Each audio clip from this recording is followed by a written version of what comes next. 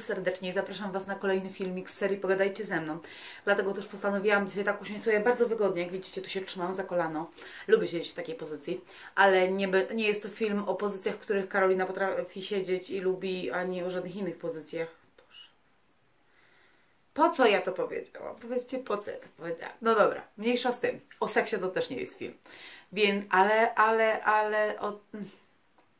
O seksie to też nie jest film. Jest to film o związkach, o idealnym, yy, idealnym partnerstwie, o idealnym małżeństwie, o idealnej współpracy, o jak to zrobić, żeby mieć super rodzinę, super męża, super żonę, jak być razem, jak być szczęśliwi. Takie pytanie mi zadajecie, rozumiecie? Zadajecie mi, rozumiecie? Rozumiecie?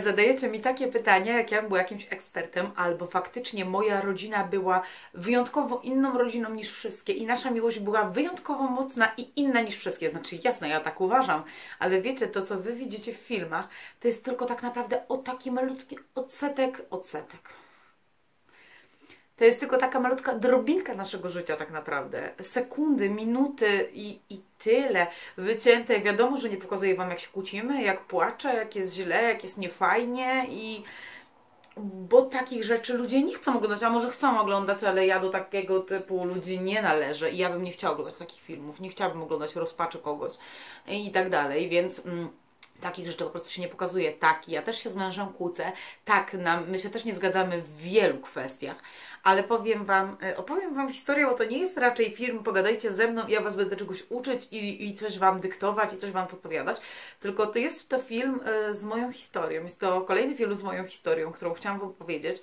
i e, nie wiem jeszcze jak ten film nazwę, dlatego, że powiedziałam Wam kiedyś, że szukuję dla Was film o zdradach i że też bym chciała coś powiedzieć, więc może mm, coś na ten temat, dlaczego zdrady. Dlaczego film o zdradach, dlaczego w ogóle o tym pomyślałam? Ja muszę Wam powiedzieć od samego początku, że ja od kiedy zaczęłam dojrzewać, zaczęłam dorastać, jestem taką dziewczyną i od wtedy do dziś jestem taką dziewczyną, która uwielbia flirtować, uwielbia kokietować, uwielbia uśmiechać się do facetów, uwielbia widzieć wzrok facetów skupiony na mnie. Nie, nie jestem osobą, która byleby wszyscy na mnie patrzyli. Nie, nie, wbrew pozorom rzeczy, niektórzy z Was tak myślą, zdecydowanie, że jestem snopką zakochaną w sobie i chcę, żeby wszyscy mnie uwielbiali i podziwiali, ale jestem po prostu pewna siebie. Jestem pewna siebie i e, jeżeli dobrze wyglądam, to chciałabym się podobać również innym. Wiem, kiedy dobrze wyglądam, wiem, kiedy wyglądam źle. Ale dobra, ale nie o tym. I chciałam Wam powiedzieć moją historię, yy, historię poznania mojego męża, dlaczego tak bardzo on mnie zafascynował, dlaczego tak bardzo mi się spodobał i co w naszym życiu stało się takiego, że się rozstaliśmy. Tego jeszcze nie wiedzieliście, tego jeszcze Wam nigdy nie opowiadam, więc y, historia moja, y, jest to trochę taka podpowiedź do facetów, jeżeli otaczycie się kobietami podobnymi do mnie, czyli kobiet pewnych siebie, y, kobietami pewnymi siebie, jeżeli chcecie taką zdobyć. No to Wam powiem właśnie, jak było u nas. Dlaczego mój mąż Maciej tak bardzo mi się spodobał? Przede wszystkim dlatego, że nie zwracał na mnie uwagi i było to dla mnie hmm, nie do pogodzenia się. E, to była sytuacja nie do pogodzenia się. Jego koledzy mnie podrywali, do mnie mówili, że miałam 15 lat.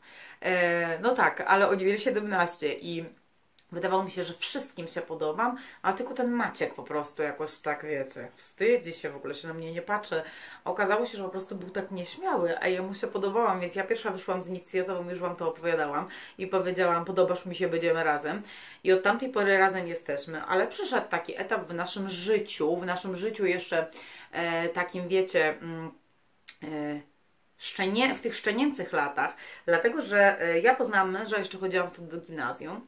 E, zmieniłam szkołę na szkołę średnią, bo to był właśnie ten przełom, kiedy e, wiecie, z gimnazjum szło się do, mm, do pierwszej klasy średniej szkoły. Ja chodziłam do technikum hotelarskiego czteroletniego.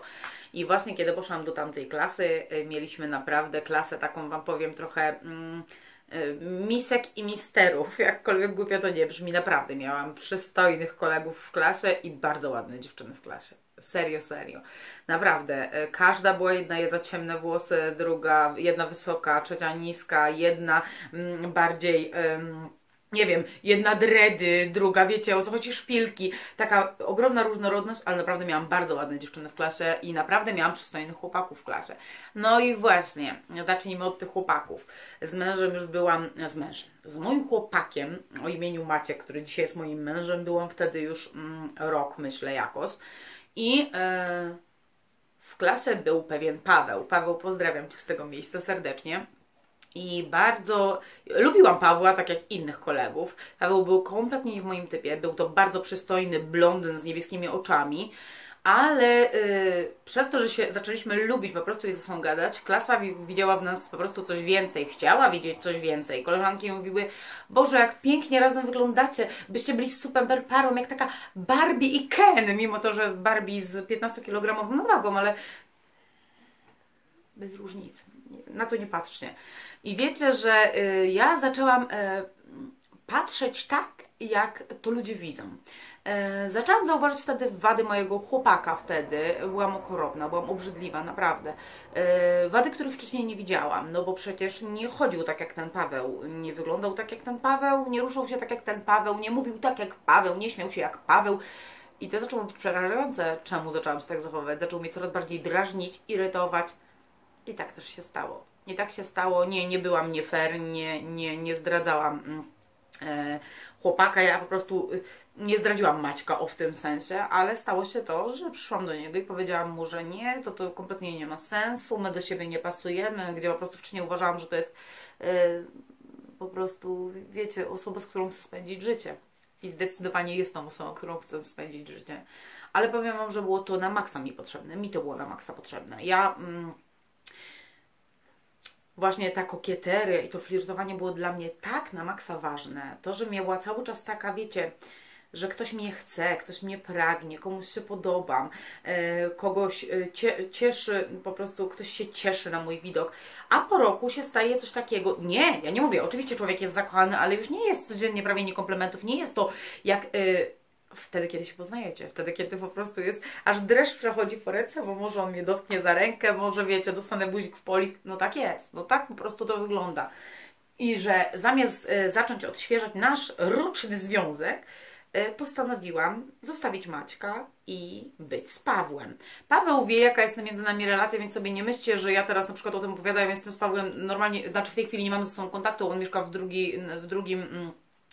Yy, po drugiej stronie Polski, ale jak się spotkaliśmy na spotkaniu klasowym, po prostu gadamy jak kiedyś, po prostu jak koledzy, jakby nic takiego nie miało miejsca, że byliśmy jakąkolwiek parą. I powiem Wam, że właśnie zostawiłam mojego męża, ale kiedy zaczęłam chodzić z Pawłem, to były takie momenty, mm, kiedy już się spotykaliśmy i wtedy widziałam, odwrotnie, kompletnie, e, widziałam to po prostu w taki sposób, bardzo chaotyczny jest ten film. Wiem, że mówię paskudnie, ale ja nie wiem jak po prostu um, swoje emocje ubrać w słowa. Kiedy spotykałam się właśnie z tym Pawłem, brakowało mi Maćka, bardzo. Brakowało mi jego żartów, jego poczucia humoru, jego zachowania, jego stylu ubierania i tak dalej, i wiecie co robiłam? Najokrutniejszą rzecz na świecie. Ja już wtedy mieszkałam tutaj w Radomierzycach, bo się właśnie przeprowadziliśmy, więc y, ja tutaj mieszkałam, jak z Maćkiem zresztą wchodziłam. Paweł mnie odwiedzał, Paweł jechał do domu i ja przychodziłam do Maćka i ja, ja przyszłam stąd tylko porozmawiać, wyszedć jak koleżanka z kolegą. I tak z nim siedziałam i gadałam i dawałam mu jakieś, yy, nie wiem, złudne nadzieje, że może coś z tego będzie. Pogadałam, nacieszyłam się tym, że y, on dalej chce mnie, wiem, byłam okrutna, obrzydliwe jest to w ogóle, co mówię teraz on dalej chce mnie, więc wychodziłam i dalej chodziłam z Pawłem. I tak to trwało trzy miesiące do, do pewnego razu, do pewnego razu, gdzie mój mąż zaskoczył mnie, no, wtedy chłopak, gdzie Maciek zaskoczył mnie wtedy ogromnie, ogromnie, aż mi kopara opadła. On był bardzo takim, wiecie, jest to człowiek ogromny realista, ale taki delikatny, delikatny, po prostu w usposobieniu, on nie krzyczy, on, nie wiem, nie frustruje się z byle powodu, Przynajmniej tak było kiedyś, jak był młodszy. A i ja przyszłam do niego tak jak y, robiłam to przez trzy miesiące, przyszłam do niego znowu pogadać, posiedzieć, znowu się upewnić, czy dalej mu się podobam, czy nic się nie zmieniło. Wpuścił mnie do pokoju. Pokój był, bo chciałam Wam powiedzieć, że przez tamte trzy miesiące to y, był bałagan w pokoju. On jest pedantem, który na okrągło sprząta. To było brudno. To było po prostu... Mm, on do tego stopnia kiedyś sprzątał, słuchajcie, że się kadzidełka jeszcze paliło, było po prostu kurze po, pomyte wszędzie. Mówię o jego pokoju. On tak o wszystko dbał. Jest w ogóle takim człowiekiem. On sam był zawsze w wyprasowanej koszulce, zawsze pachnący, zawsze taki zadbany. Bardzo mi się to podobało. A kiedy przychodziłam przez te trzy miesiące tutaj do niego, żeby go prowokować, to powiem Wam, było tu brudno. No, on nie był brudny, ale ten pokój po prostu zaniedbany, nic mu się nie chciało. To też było dla mnie taką, wiecie, oznaką tego, że ha, jak Ty za mną tęsknisz, tak naprawdę, wiecie, że Człowiek nie widział tego cierpienia drugiego człowieka. Ja kompletnie nie wiedziałam, że on cierpi. Ja nie wiedziałam, że on cierpi. Dla mnie to było po prostu tylko ja. Byłam tak na maksa skupiona na mnie.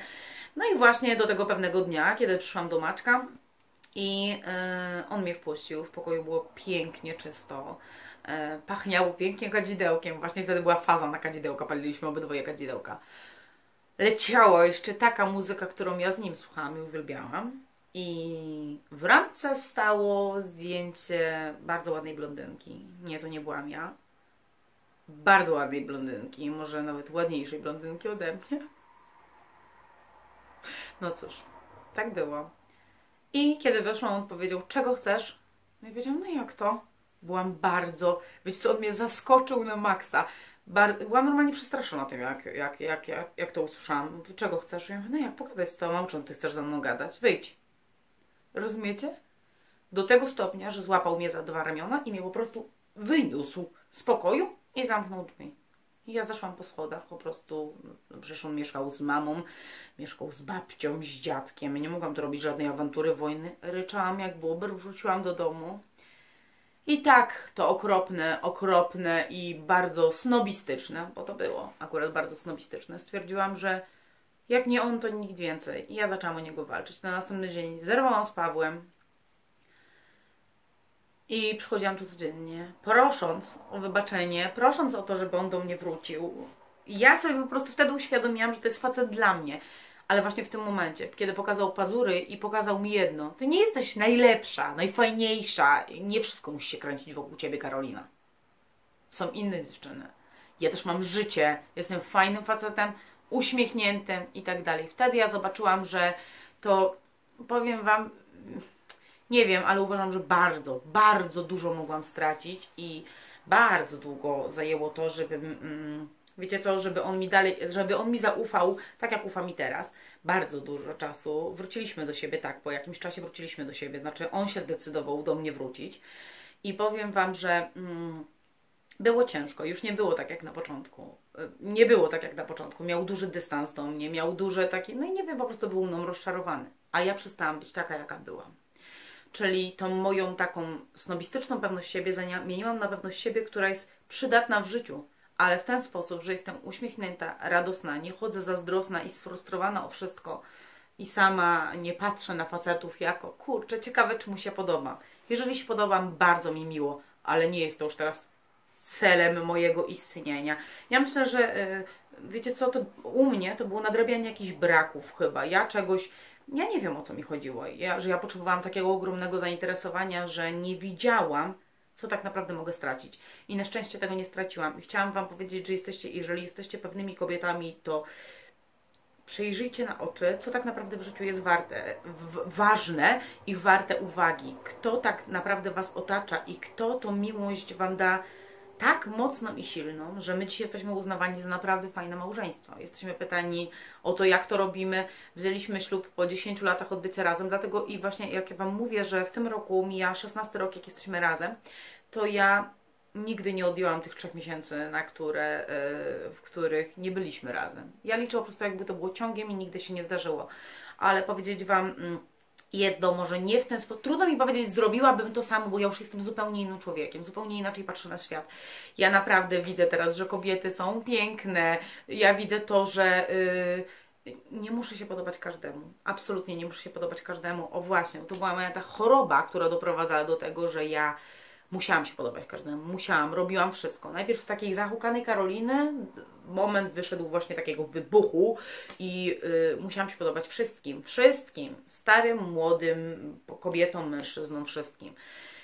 Teraz tego nie mam. Najważniejsze, że podobam się e, sobie i najważniejsze, że w oczach mojego męża jestem fantastyczną kobietą.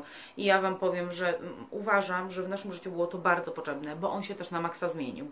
I stał się mężczyzną, naprawdę takim mężczyzną, wiecie, twardo stąpającym po ziemi, a ja zobaczyłam, że nie jestem jedna jedyna i nie jest tak, że mnie się nie da zamienić, bo bardzo łatwo mnie można zamienić. Dlatego zaczęłam bardzo pracować nad sobą, żebym była taką osobą, żeby naprawdę komuś było smutno, kiedy mnie nie ma, ale ja już tego nie wykorzystuję i nie robię czegoś w sensie, wiesz, i to ja ci pokażę, bo ja jestem ta lepsza, bo nie jestem już w niczym lepsza.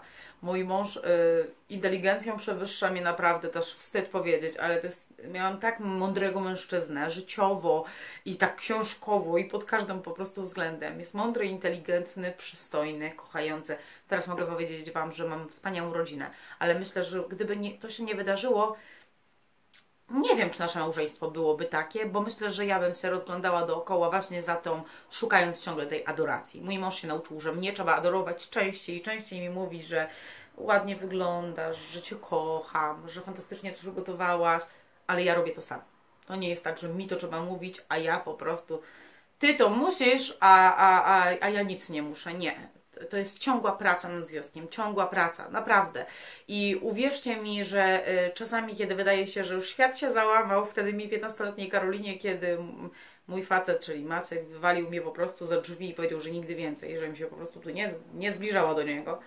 Wydawało się, że to jest koniec świata. Nie był to koniec świata i walczcie o to, co jest ważne. I pamiętajcie, że y, jesteście jedne, jedyne i wyjątkowe ale nigdy w taki sposób próżny, snobistyczny i beznadziejny, takie jak ja to robiłam. Wiecie co, tak naprawdę znowu nie wiem, jak ten film nazwy, bo to było takie, nie pogadajcie ze mną, ja się Wam wygadam. Piszcie, czy Wy miałyście podobne historie, czy znacie w ogóle osoby, yy, które tak naprawdę są na maksa zakompleksione, ale tą taką pewnością siebie i takim szukaniem aprobaty w oczach innych chcą pokazać całemu światu, że są pewne, na maksa pewne siebie. Ja wtedy myślałam, że to jest właśnie pewność siebie. To nie jest absolutnie pewność siebie. To było takie właśnie ukrywanie emocji, które mogło się skończyć bardzo, bardzo źle, bo ja sobie innego męża na dzień dzisiejszy nie wyobrażam. Mamy cudownego synka, fantastyczny dom, podobne patrzenie, idziemy cały czas w tym samym kierunku, chcemy iść w tym samym kierunku i trzymamy się cały czas za ręce i mam nadzieję, że to nigdy się nie skończy. Mimo, że ten film był na maksa chaotyczny i tak naprawdę był o wszystkim i o niczym, ja się Wam troszkę wygodałam i naprawdę mam nadzieję, że film Wam się spodoba i naprawdę mam nadzieję, że odbierzecie mnie w porządku i zrozumiecie, że czasami to, że ktoś jest... Yy, załukany, boi się czegoś, ma milion kompleksów, nie musi się odzwierciedlać tym, że będzie się chował za ścianą, a właśnie tym, że będzie Wam to wszystko pokazywał. Będzie wszędzie głośny i, i donośny i wiecie jaki, taki udający najlepszego, bo tak to czasami jest. Za jakąś maską się człowiek chowa. Tak jak mówię, nie każdy potrafi być poker face i dobra. Tyle, kochani, bo już naprawdę nie wiem, nie wiem jak to skończyć, nie wiem jak to skończyć. Mam nadzieję, że film Wam się podobał i zresztą dajcie znać, co Wy w ogóle o tym sądzicie i czy znacie osoby, które się tak zachowały i czy w, u Was kiedyś, o właśnie tego jestem najbardziej ciekawa, czy w Waszym życiu yy, była taka sytuacja, że rozstaliście się z tym, z tym ukochanym albo z tą ukochaną, którą dzisiaj albo z którym dzisiaj jesteście nadal? Bardzo mnie ciekawią takie historie. Piszcie, ja chętnie poczytam. A za dzisiejszy film dziękuję Wam serdecznie i powiem Wam, że kurczę, cieszę się, że człowiek dorasta, myśli i po prostu mądrzeje z wiekiem.